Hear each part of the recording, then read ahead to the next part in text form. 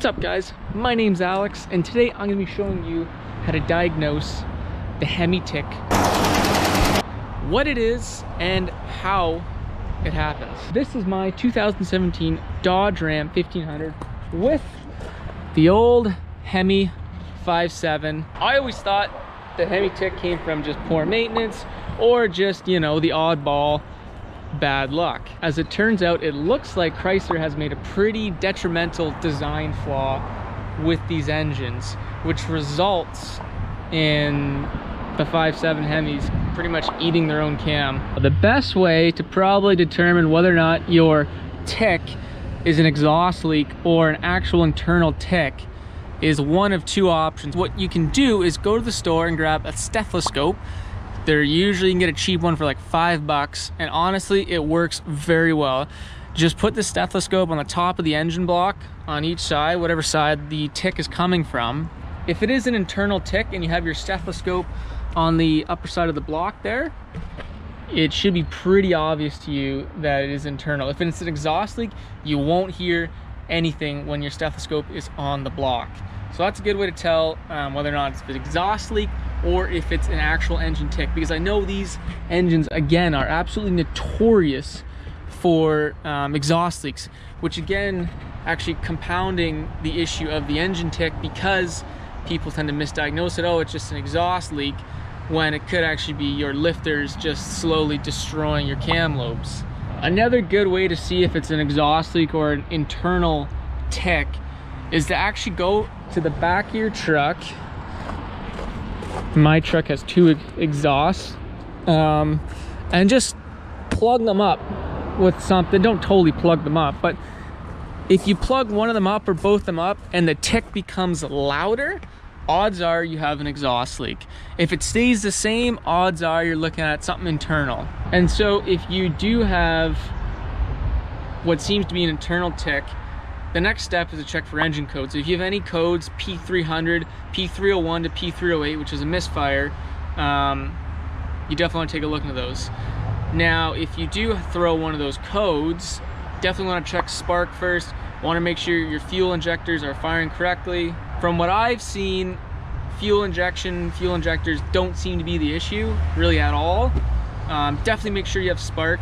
Um, if it's, you know, let's, let's say if it's cylinder, let's say if it's I don't know, cylinder eight, um, you want to move that coil to the next cylinder beside it. And if the misfire follows that coil, obviously you have a bad coil, replace the coil.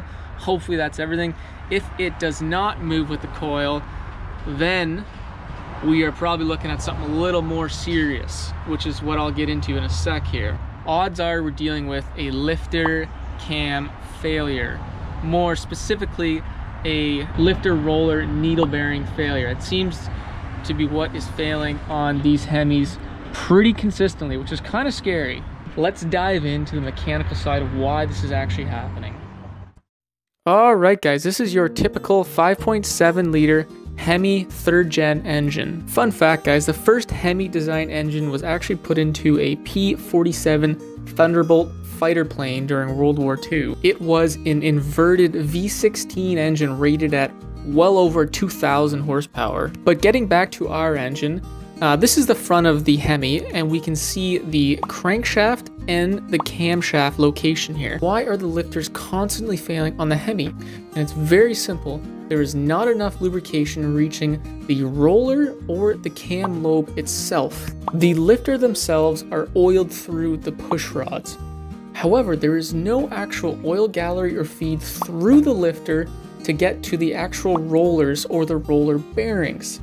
Furthermore, any additional oil drained from the lifter bore themselves is outboard of the cam lobes, resulting in the oil simply dripping back to the crankcase and avoiding dripping on the camshaft lobe. With an in-block cam design, this is not an issue because as we mentioned earlier, the rotating assembly is spraying off so much oil in close proximity to the camshaft itself, it is always going to be drenched in oil. However, with the Hemi's single overhead cam design and the cam being further away from the engine's rotating assembly, it does not have the luxury of constantly being splashed with oil, So if the lifter rollers do not get enough lubrication from the lifters or from the rotating assembly splashing oil up onto them, the needle bearings will starve for oil causing them to fail. This specifically comes into play when the Hemi is at idle or low RPM situations. At engine speeds above 1500 RPM, the engine assembly is spinning fast enough to throw up oil onto the cam and adequately lube up the cam and rollers. So try and reduce your idle times with this engine to preserve the life of your lifters and avoid the old dreaded Hemi tick. So what do you know, this engine isn't all sunshines and rainbows, but no engine is.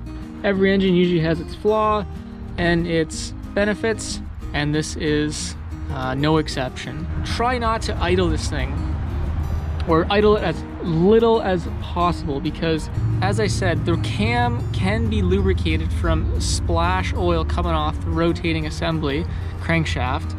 And when the engine is at low RPMs less oil is going to be flung up to those camshafts and rollers which is where you're going to see your damage. So if the engine is at let's say 2000 RPM just under that you're probably going to be okay with some good splash coming off the rotating assembly and everything's to be lubed up okay. It's when you're in low RPM situations where that overhead cam is going to see some low lubrication situations and that will cause those needle bearing failures. Now before I go any further I do have to mention Uncle Tony's Garage. He has an absolutely amazing video on this topic. He's got a stripped down engine block and goes even further into the design flaw of this 5.7 Hemi.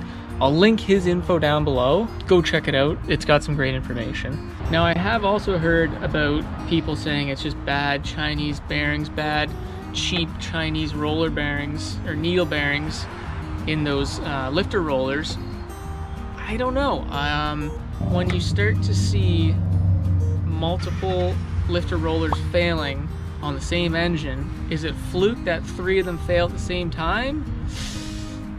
I don't know, it seems to all point to one main problem. Chrysler, in 2017, they updated their, um, or sorry, no, in 2016, they updated their lifter roller bearings, apparently. They're supposed to be better, but if indeed the you know, lubrication is 100% the issue, that's not going to fix anything.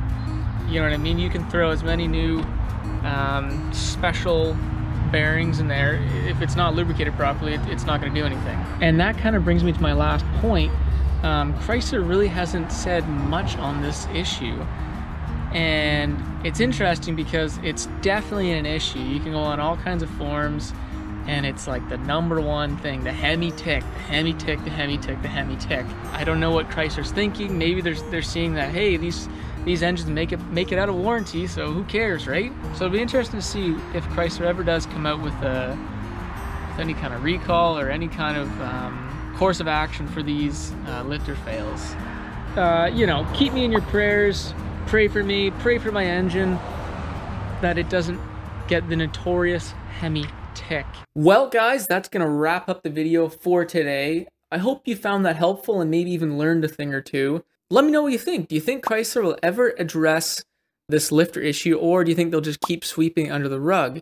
It'll be interesting to see what happens. Um, I do apologize about the audio quality. Um, I have a microphone coming. It should be in the mail actually tomorrow. But yeah, guys, as always, if you like the video, throw me a thumbs up and maybe even think about subscribing because I have a lot of RAM stuff coming down the line, and uh, it should be fun. Anyways, guys, we will see you on the next video.